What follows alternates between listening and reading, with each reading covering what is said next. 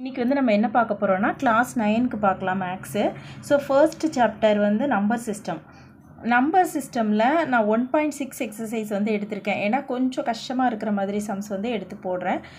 உங்களுக்கு வேறு ஏதாவது சம்மில் டவுட்டோ இல்லை ஏதாவது வேணும்னா நீங்கள் கமெண்ட் பாக்ஸில் வந்து கமெண்ட் பண்ணுங்கள் இப்போ ஃபஸ்ட்டு வந்து பார்த்திங்கன்னா sixty four power one by two இருக்குது.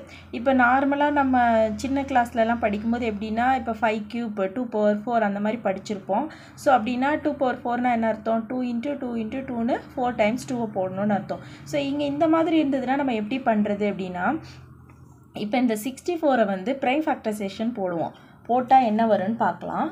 சிக்ஸ்டி ஃபோருக்கு போட்டோன்னா இப்போ டூவால் பண்ணுறோன்னா three two sir six two two sir four அப்புறம் அகெயின் டூவால் பண்ணுறோம் two one sir two six two sir twelve அடுத்து எயிட் வரும்.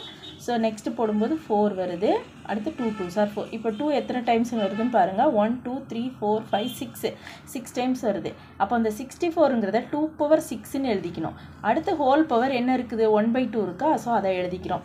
இது இப்போ என்ன லா படி இருக்குது அப்படின்னா A power M the whole power N அந்த லா படி இருக்குது so A power M the whole power என்னன்னா அதோட ஆன்சர் என்னது? A power M into N ஓகேவா அப்போ இதையும் நம்ம மல்டிபிள் பண்ண முடியும். So two power six into one by two இப்போ மல்டிபிள் பண்ணதுன்னா இப்போ இதை கேன்சல் பண்ணிடலாமா? இது டினாமினேட்டர் இருக்குது இது நியூமரேட்டரில் ஸோ கேன்சல் பண்ண முடியும். த்ரீ டூ சார் சிக்ஸ்டின் அப்போ த்ரீ இன்ட்டு ஒன்று த்ரீ அப்போ டூ க்யூப் தான் இதோட answer two க்யூபுங்கிறது two into two into two அப்போ என்ன வரும்? எயிட்டு தான் இதோட ஆன்சர் ஓகேவா? ரொம்ப ஈஸியாக இருக்கும்.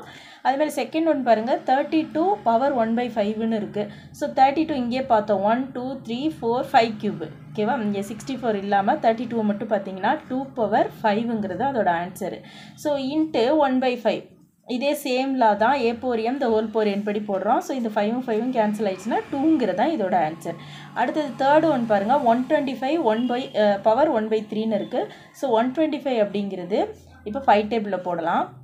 Five two two five are டென்னு அடுத்து five five are twenty five again five five are twenty five இப்போ five க்யூபுங்கிறதா one twenty five the whole power one by three so A power M into A power M the whole power என்னன்னா A power M into N so five power three into one by three three three cancel five தான் answer அவ்வளோதான் அதே மாதிரி second some பாருங்கள் nine power three by டூன்னு இருக்குது இது same வேல தான்.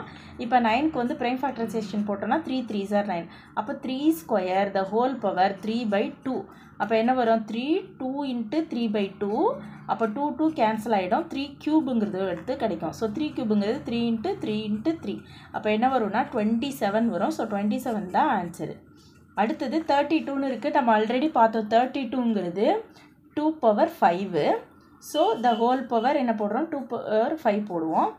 இப்போ இது ரெண்டையும் மல்டிபிள் பண்ணோன்னா என்ன வரும்? ஸோ ஃபைவ் ஃபைவ் கேன்சல் ஆயிரும். டூ ஸ்கொயர் கிடைக்குது. டூ ஸ்கொயர்னால் என்னது? ஃபோரு இதுதான் ஆன்சர் அடுத்தது சிக்ஸ்டீன் ஸோ சிக்ஸ்டீன்ங்கிறதுக்கு என்னது? இப்போ சிக்ஸ்டீன் டூ ஃபோர் போட்டோன்னா ப்ரைம் ஃபேக்டரைசேஷன் போட்டோன்னா டூ பவர் ஃபோர் கிடைக்கும் ஓகேவா அப்போ two power four the whole power three by four அப்போ என்னாகும்? Two power four into three power four three by four சரி அப்போது ஃபோர் ஃபோர் கேன்சல் ஆயிரும். டூ க்யூப் வந்து கிடைக்குது. ஸோ டூ க்யூபுங்கிறது என்னது? எயிட்டு ஸோ எயிட்டு தான் இதோட ஆன்சர் இங்கே வந்து கொஞ்சம் அந்த சம் வந்து வித்தியாசமாக இருக்கும். என்னென்னா one twenty five the whole power minus one by த்ரீன்னு இருக்குது ஸோ இது ஒன்றும் இல்லை ரொம்ப ஈஸி தான். ஒன் டுவெண்ட்டி ஃபைவ் தான் நம்ம ஆல்ரெடி பார்த்தோம் ஃபைவ் க்யூப்னு சொல்லிட்டு. So five cube minus one by த்ரீன்னு போட்டோம். இப்போ ஆஸ் யூஷுவல் நம்ம வந்து என்ன பண்ண போகிறோன்னா அதை டிவைட் பண்ண போகிறோம் மைனஸ் சேர்த்துக்கிறோம்.